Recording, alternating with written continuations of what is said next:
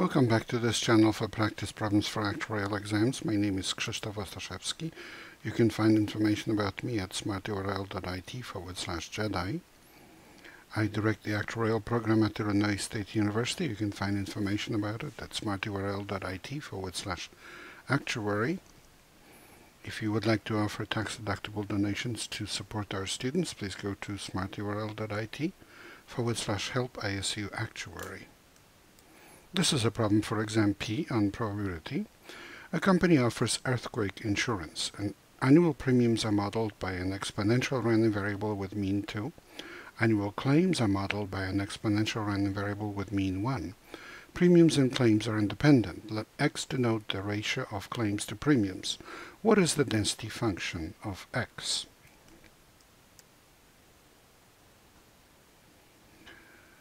So let us write u for the annual claims and v for the annual premiums, both random variables, and let uh, f sub uv of uv be the uh, joint density of them. Um, let f sub x be the density of x and let sub f sub x be its cumulative distribution function. We are given that u and v are independent and therefore uh, the joint density is a product of individual densities and uh, the first one is exponential with mean 1, and so um, its density is e to the minus u. And the second one uh, is uh, exponential with uh, mean 2, and therefore the density is um, the reciprocal of the mean, so 1 half times e to the 1 half times v um, because the hazard rate is one half if the mean is 2. And we multiply it out and the joint density is 1 half e to the minus u times e to the minus v over 2 for both u and v between 0 and plus infinity. And then I'll show you the graph of um, the um, UV uh, two-dimensional plane in which uh, we will um, look at uh, a certain area. So this is the graph.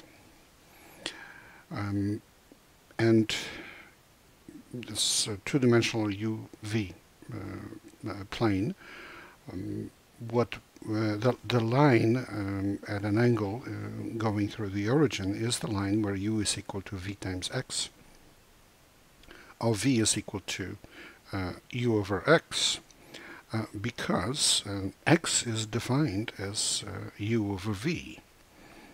So then if we have a specific value of x, then all the points where u is equal to vx lie along a line like this.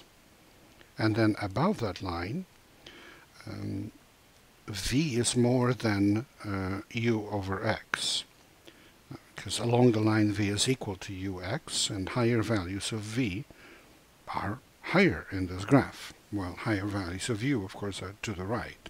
But we're interested, eventually you'll see that we're interested in the area where v is more than u over x.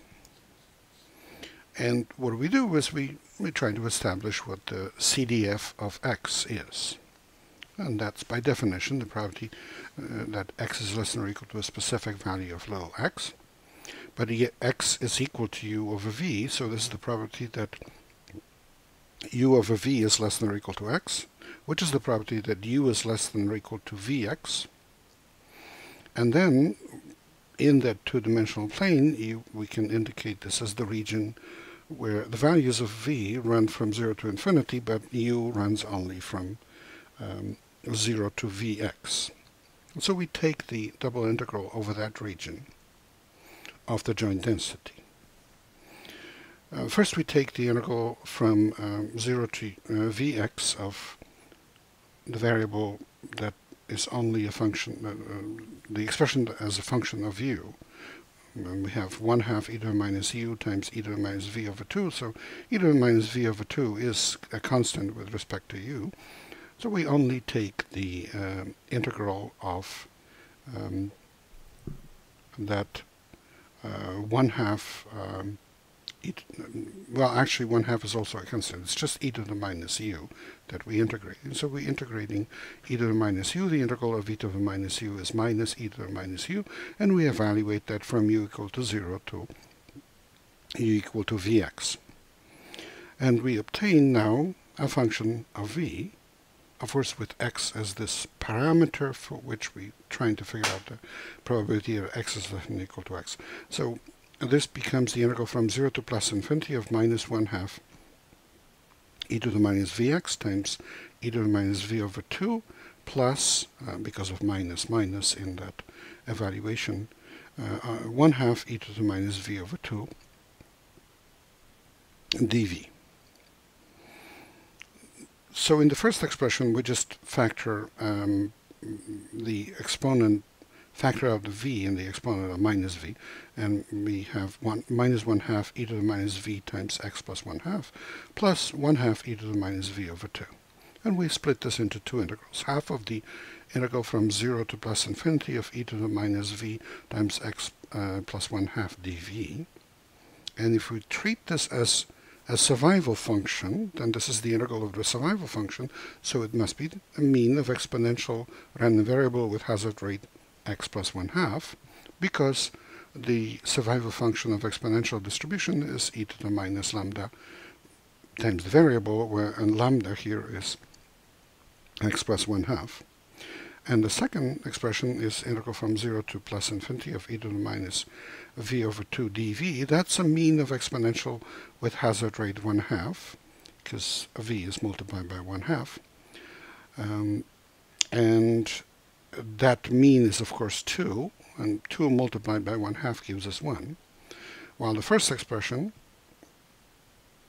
has uh, negative 1 half times the mean of exponential with hazard rate of x plus 1 half, which is 1 over that x plus 1 half. And of course, minus 1 half times 1 over x plus 1 half gives us what you see here, minus 1 over 2x plus 1 plus 1. And plus 1 comes from the second integral, of course. And the density of this random variable is uh, the derivative of what we see here. So it's uh, 2 over 2x plus 1 squared, which is answer B. Uh, please remember this is copyrighted material. The problem itself comes from Society of Actuaries. The solution is mine. Good luck in your studies and good luck on the test.